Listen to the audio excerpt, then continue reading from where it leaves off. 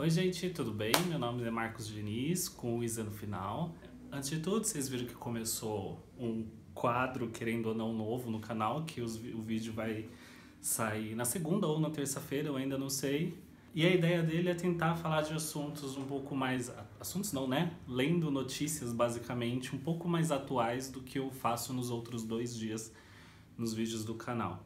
Não estranhe, né? Que é bem diferente o formato daquele vídeo para esses outros dois que eu posto na quinta e no domingo. A ideia dele é meio que uma brincadeira mesmo.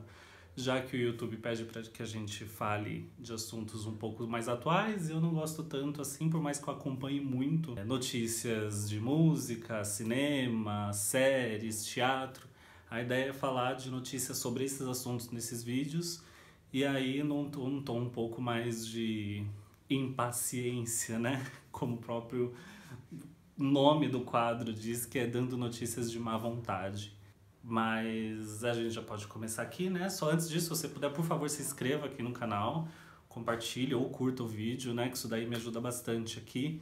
E eu vejo que a maioria das pessoas, a grande maioria mesmo, tipo, a cada 30 visualizações que tem o vídeo, só uma de pessoas que são inscritas. O restante vem esporadicamente, mas não se inscreve no canal. Então vamos para a baboseira e já falar direto do vídeo. Bem, como uma introdução, assim, um pouco mais, ele veio muito de uma conversa que eu tinha com um amigo, que infelizmente ele já é falecido, mas a gente discutia bastante quando se encontrava em assuntos referentes a artes, criatividade, talento.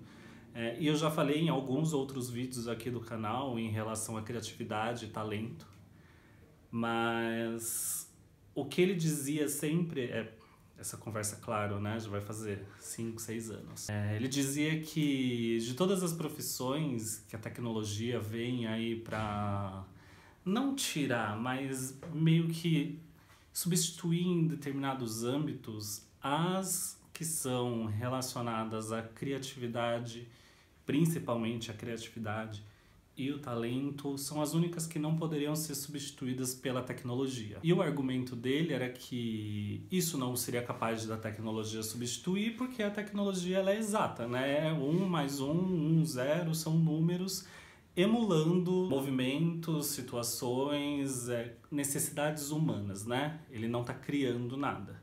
Já o ser humano, para ter um desenvolvimento criativo e de um talento em si, é, ele demanda muito de bagagens, é, vivência, muitas vezes traumas, muito estudo, né? Então são um acúmulo de coisas que leva para que a criatividade seja desenvolvida e o talento também, porque a partir disso, né, do, do desses acúmulos que o ser humano tem, ele é um, a única, né, a única criatura, né, que difere das outras que ela consegue juntar todas essas coisas que ela que foram acontecendo e que desenvolveu durante a vida e criar alguma coisa a partir do zero.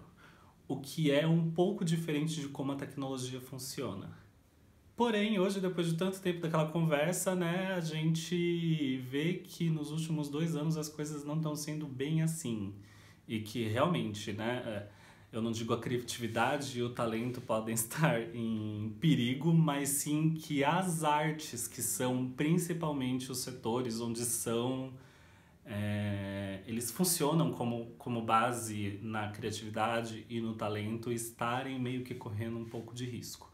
Eu digo nos dois últimos anos aí, porque ali no começo de 2000, 2020, 2021 já tinha bastante tecnologia avançada. É, em relação a, a inteligência artificial fazer emulação né, de escrita de textos, de criação de imagens e coisas relacionadas.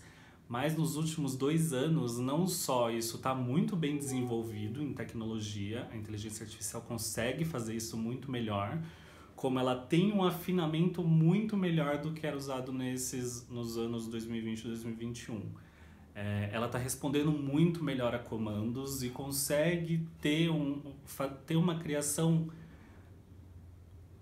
tão boa, tão semelhante, às vezes até tão boa quanto o ser humano pode fazer.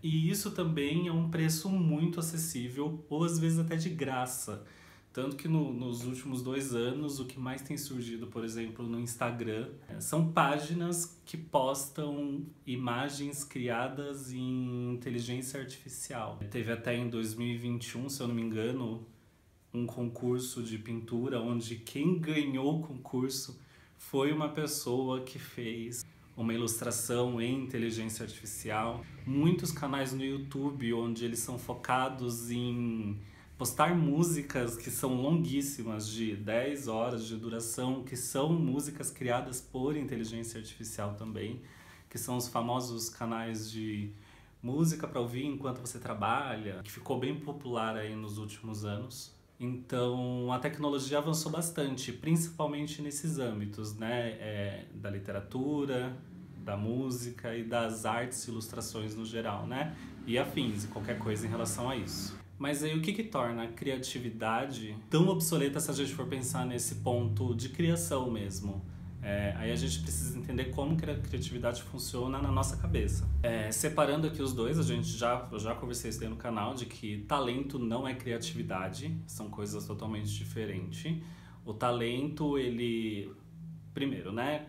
Os dois, eles têm duas formas de funcionar no, na mente, né? O, os dois podem ser uma coisa nata, é, onde a pessoa ela já tem uma aptidão para desenvolver a criatividade e o talento com muita facilidade. Porém, as duas também podem ser desenvolvidas por quem não tem esses dois talentos, né? Essa criatividade e o talento como nato. Mas aí demandaria de muito mais esforço, né? Do que uma pessoa que já tem isso daí como, digamos, vocação. Mas não é uma bem vocação, não é essa palavra que eu queria usar. O talento ele é diferente da criatividade porque o talento ele vem de esforço, em primeiro lugar. Mas esforço, isso daí funciona em um grau a mais e um grau a menos, por, tanto para quem tem vocação ou não. Porque o talento ele você precisa desenvolver, ele demanda treinamento. É, uma pessoa que não tem conhecimento nenhuma em pintura, se ela se esforçar muito, com dedicação, fazer cursos ou às vezes treinar muito, pode vir, sei lá, em quantos anos se tornar um dos maiores pintores do mundo. E isso aí pensando em uma pessoa que não tem como vocação. Uma pessoa que tem vocação, ela pode também ser um dos maiores pintores do mundo, mas com muita mais facilidade. Eu coloco aqui no, no supra-sumo mais para ficar fácil, porque são talentos, existem talentos e talentos. É, e a criatividade, a criatividade, ela funciona de uma forma diferente. Ela não demanda de um esforço, né? A criatividade, ela vem de bagagem, é, estudo, traumas também, né, que eu já até falei. Mas ela a criatividade você não consegue treinar ela para que você seja cada vez mais criativo. Existem formas onde você consegue fazer com que ela seja acessada de um, uma forma muito mais simples, mas ela você não consegue ficar, sei lá, desenhando o dia inteiro para ver se aquela criatividade ela aumenta ou não. Se você não é criativo, você não é criativo. É, se você é uma pessoa criativa, isso vai aflorar e você vai conseguir desenvolver a sua criatividade de várias formas diferentes. E é exatamente nesse ponto onde a gente pode pensar que a inteligência artificial não alcançaria o ser humano é, em relação à criatividade ou ao talento. Em talento, né, acredito que seja nulo, né, a, a inteligência artificial conseguir chegar ao âmbito de talento, porque as formas de poder criar a arte da inteligência artificial, obviamente, é de uma forma diferente que o ser humano criaria, né? É, a inteligência, a, a pessoa, ela vai desenvolver aquele talento durante muitos anos da vida dela, até chegar ao ponto onde ela se sinta satisfeita e aquele é o trabalho que ela quer fazer. A inteligência artificial, ela simplesmente funciona a partir de comandos. Então, você coloca aquele comando nela e ela vai desenvolver alguma coisa a partir dali. Então não é um talento. Não existe o talento para a inteligência artificial. Porém, a gente consegue pensar que existe uma criatividade por conta da inteligência artificial. Uma pessoa que é nata criativa, ela vai ser muito mais parecida com a inteligência artificial nesse âmbito, porque a pessoa, ela vai necessitar de bagagem, conhecimento, vivência, traumas e, e, e, quanto mais bagagem, mais você consegue trazer com que, fazer com que essa criatividade seja é, aflorada e vá é, conduzindo o seu talento. Já a inteligência artificial, como ela funciona a partir de conhecimento, de comandos, é, a criatividade dela vem a partir de alimentação. Então foi isso até falado, né, que a inteligência artificial que estava ativa foi bloqueada para que coisas a partir de 2021 ela não seria mais alimentada, porque entra muito na questão de copyright, né, da, da inteligência artificial tá usando o trabalho de pessoas sem autorização para poder gerar imagens em cima daquilo ou emular essas, é, é, essas criações dessas pessoas para que ela desenvolvesse o próprio trabalho dela. Então, no caso da inteligência artificial, ela é alimentada. Então, quanto mais ela foi alimentada, mais capaz ela é de reconhecer traços e emular aquilo dentro de uma arte. E emular não necessariamente a gente pode falar que ela está copiando, mas ela está fazendo mais ou menos o que a gente faz. A gente cria a partir de referências. É mais ou menos o que a inteligência artificial faz. Ela cria uma nova imagem a partir de uma alimentação que foi feita nela. Porém, os dois, dos dois, né, o homem e a inteligência artificial, o homem ainda assim é um que consegue dar o comando zero, né? Ele vai começar a criar alguma coisa do zero e muitas vezes aquilo que ele está criando é alterado, vai mudando no decorrer do, da, daquela criação até virar uma coisa totalmente diferente do que ele estava esperado. A inteligência, ela, você dá o comando, ela vai criar exatamente aquilo que você está pedindo. A diferença é que ela pode criar uma ou ela pode criar 50 versões daquilo de formas, de, de formas diferentes ao mesmo tempo. Então, enquanto você pensa em criar uma, ela já criou 50. O que pode levar, às vezes, a pensar que a inteligência artificial, dependendo se ela continuar sendo desenvolvida, alimentada e colocando essa criatividade dela para funcionar, é, ela possa até ultrapassar a gente, mas ela ainda tem a limitação de que ela precisa de um comando humano, né, para poder fazer o trabalho dela. Se ela não tiver esse comando, ela não faz. Então, enquanto é, ela não tiver capacidade, ou pelo menos ela não ter a trava de você tem total liberdade para você dar o próprio comando para você do que você vai criar, essa limitação ela fica é, colocada meio que em xeque. Enquanto a gente, o ser humano, ele é em níveis maiores ou menores, ele é criativo. Ele vai criar coisas do zero. O cérebro humano, ele não para em segundo nenhum. A inteligência artificial, você alimenta, alimenta, alimenta, mas se você quiser, você desliga da tomada, acabou. Se está na nuvem, ela vai ficar só naquilo que está sendo desenvolvido. E por mais que ela aprenda muito rápido, porque você jogou as coisas lá dentro, ela já meio que absorveu aquilo e consegue é, transformar em alguma coisa, ela tá em, digamos, em pausa, né? Ela não é um ser, um, um, um ser humano que vai ficar pensando naquilo. O ser humano, ele cria uma coisa, aquilo fica pensando e aí vão trazendo outras soluções ou outras ideias a partir daquela primeira que ela criou.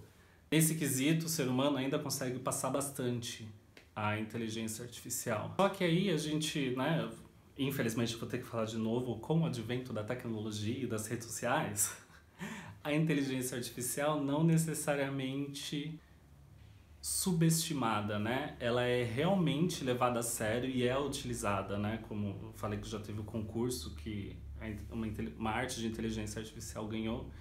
Só que aí a gente pensa como ética. A gente tem um artista onde ele demora anos ou sei lá, meses, anos, ou às vezes até décadas para conseguir criar uma arte própria, ou às vezes criar uma única obra, né? É, e a inteligência artificial que consegue fazer isso em poucos segundos.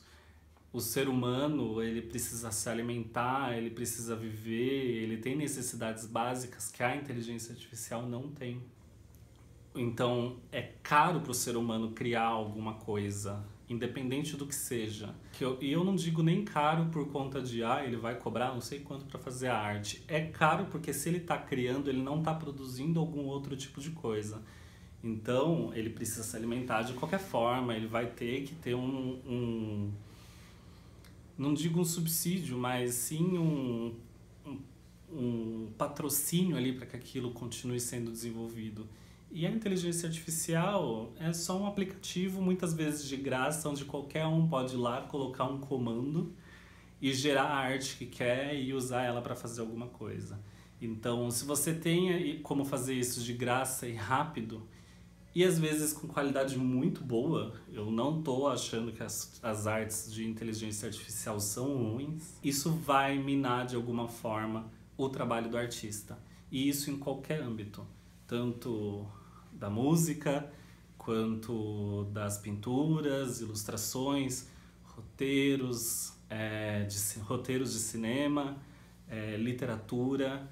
A única coisa que eu acredito que pode acontecer, a gente, nós somos mestres em criar soluções para problemas, né?